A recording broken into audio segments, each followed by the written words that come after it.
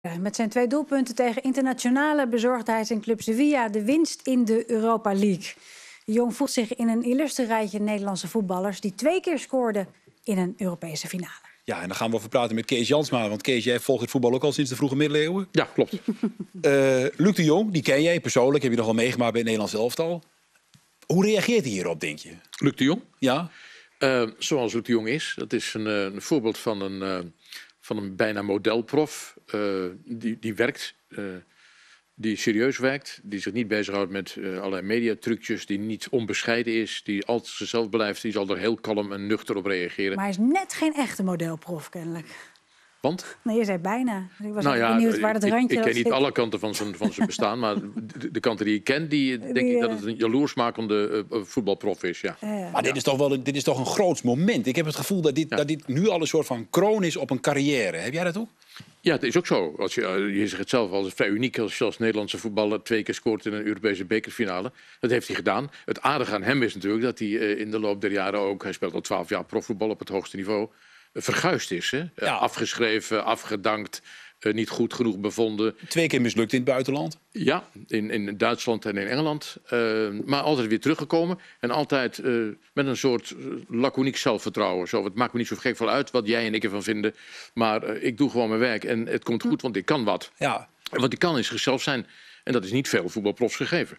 En dan scoor je uiteindelijk twee keer in de Europa Cup finale. En dan kom je in Nederland in een heel bijzonder rijtje terecht. Zeker. Te beginnen met de man die twee keer scoorde Europa Cup finale in 1972. In Rotterdam. Ajax Inter Milaan. Johan Cruijff. Ja. Vrijschop Piet Keizer. Ingekopt! Schitterend! Schitterend ingekopt. Ajax staat op 2-0. Cruijff heeft gescoord. Zijn tweede doelpunt. En met minder dan een kwartier te spelen. Een minuut of 13. Daar is hij. Moet het uh, in de knip zijn. Ja, we hebben één doelpunt van iedereen, hè, omwille van tijd en geld uiteraard. Was jij hier nou ook al bij, Kees? Nou ja, dit is niet de middeleeuwen. Uh, dit is 1972, dus ik was er zeker bij. Ja? Ja, nee, dit was een hele bijzondere avond, want Cruijff... Is Jij een mooie... niet, hè? Nee, ik was er niet bij. Hoor. Ik, ik, ken de beelden. Uh, maar je bent ook al van die leeftijd. Maar... Uh, nee, nee. Dus, oh, het scheelt niet veel. Niet. Vertekend. Maar 1972, er was een, beroemde, een beroemde film over gemaakt. Cruijff, nummer 14 van Maarten de Vos onder meer. Hij speelde tegen de Italiaan Oriali, die hem de hele wedstrijd op een schandalige wijze volgde. En hij scoorde toch twee goals. En daardoor won Ajax in een, in een geweldig team met Zwart, Cruijff, Keizer als voerende in Rotterdam in de Kuip. Het was een, was een prachtige wedstrijd met een, hij is er ook helaas niet meer, geweldige legende. Ja. De volgende dan, Robbie Rensenbrink, Anderlecht. Van mijn over ja. 1976. Was je erbij, Kees? Ik was erbij. Ja. Ja, dat hoef je niet meer te vragen hoor. Eh, ja, Anderlecht tegen West Ham United in Brussel met drie Nederlanders. Een keeper, Ruiter, uit Volendam. Uh, met uh, uiteraard Rob Rensenbrink en nog één speler, wiens naam nu ontschoten is. Maar de... Ariane? Nee, Die staat er nog niet? quizvraag. Gaan we zo te binnen. Ik heb het opgeschreven. Laten we de, kijken. Nico de Hans? Kroon was trainer. Hans Kroon, dat was ja. de derde man. Ja. Hans Kroon, Nederlandse trainer. Dat was 4-2 met twee goals van het Slangenmens. Paas van Ties. Broos. Doks. In de diepte, maar rechtstreeks naar Lampert. Oh, die speelt de kort. Rensen kan profiteren. Rensenbrink, Rensenbrink in een leeg doel. Waarom schiet hij niet? Hij schiet inderdaad en scoort. Rensenbrink 1-1. Door een geweldige fout van Lampert. Allemaal. Lampert. De, overigens, ik heb het even opgezocht. Deze Lampert is de vader van Frank Lampert. Hè, Ja. Die hier wordt gedold door Rob Rensenbrink. Ja, Dat vind ik een mooi voetbalfeitje. ja, zeker. Dat is ook een, een zeer oud bestaand voetbalfeitje, maar het klopt. Ja. Ja, ja, toch maar even gecheckt. Zag je, zag je de lichaamsbewerking van Rob Rensenbrink, die, eh, met wie ik een vrij goed contact had, die ook zeer recent is overleden, veel te jong.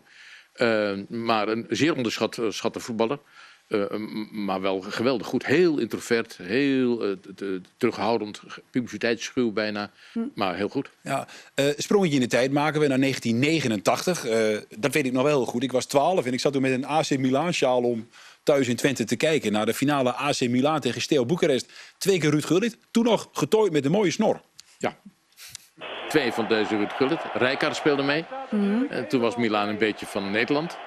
Eh, eh, ja, goed, deze man was ook heel erg goed. Maar ik vind het spannend dat jij dat zegt. Want het is een, een, langdurig voetbalgerucht dat die wedstrijd verkocht was. Hè? En dat Steel Boekarest daar gewoon ja, niet zo heel veel aan deed. Want die had het geld al geïncasseerd. Ja, dat dat verhaal gaat. Dat is nooit de onderzoek Nou, Kees, eh, kom op. Vertel Ja, nee, hoe het dit- zit. Nee, maar jij, zegt het toch. Ze deden er niet zo heel veel Nee, aan. er zijn verhalen over verschenen, maar nooit, eh, nooit goed onderbouwd en viel niet te bewijzen. Ja. Eh, maar uh, voelde zich van tevoren al kansloos en heeft misschien een, een nederlaagpremie gekregen. Dat zou Ja. kunnen, maar dat is niet te bewijzen. Maar de, de- Nederlands was heel goed hier. Ja. Was Beatrice, jij weet dit nog ook? Ja, ik weet nog dat- dat, eh, dat, volgens mij weet ik dit nog. Eh. Mijn vader is nogal voor voetbal gek en eh, we hadden een heel klein televisietje. En die ook steeds zat te suizen. En dan werd mijn vader helemaal gek. En, eh, dat, dat hij dit wist. En toen zei hij, dit is historisch. Ja, Jij het was is een goede 13 toen, hè? Ja, ja, Jij was ja, 13. Ja, ja. Het was twee keer Gullit en twee keer Van. Basten. Hebben we ook Ja. nog even Van Basten. Toch maar even kijken, hè, Marco. Ja, niet in, omdat ik, dat die volgens mij niet meer geïnteresseerd is om het te gaan doen. Eh, het is wel een, een, een persoonlijkheid die dat aan zou kunnen. Want het Nederlands elftal is gelukkig eh, eh, en logisch, veelkleurig. En, en eh, een man als Rijkaard heeft er altijd heel goed mee om kunnen gaan. Het zou een hele goede keuze zijn voor deze generatie. Maar volgens mij is hij niet meer geïnteresseerd om dat werk te Of doen. misschien Rijkaard van Basten en Gullit samen. Nee, dat lijkt me niet. Nee? Nee, dat Maar lijkt, wel? Jammer. dat lijkt me iets te veel voor het goede.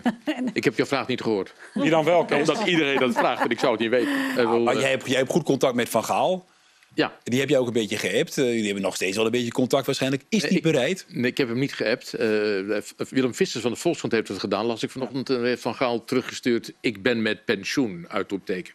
Dat is een duidelijke taal van Dus dan, dan, dat houdt in dat hij het Nee, niet ja, gaat doen. er zijn wel meer eh, eh, wat oudere trainers, toch? Die Ja. dan alsnog eh, in de ring Ja, stappen. Dus ja, het kan best. Ik, maar ik denk het niet. Het, het leukste zou zijn eh, misschien Peter Bos. Maar die zit weer bij, bij. Leverkusen onder contract. Maar wie zou je willen, Kees? Eh, nou ja, ik, ik, ik weet het eerlijk gezegd niet. Ik vind het ontzettend jammer, heb ik vorige week hier gezegd, dat, dat Koeman weg is. Omdat het een, een klik was tussen coach en spelers. Dus een wat oudere, ervaren coach met een jonge eh, eh, Ja. eh, groep spelers die mondig is. En dat, dat liep echt heel goed.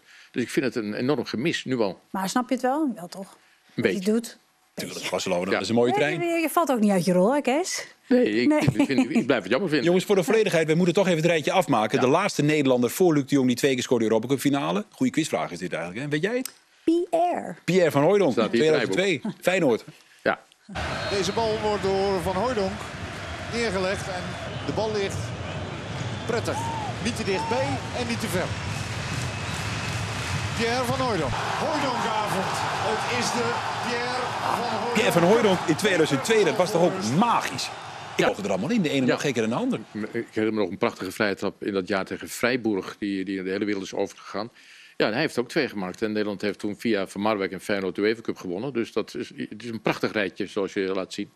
Van Ja. vijf Nederlanders die het eh buitengewoon goed gedaan hebben. En dan nu Luc de Jong ook in dat rijtje. Ja, Verdiend?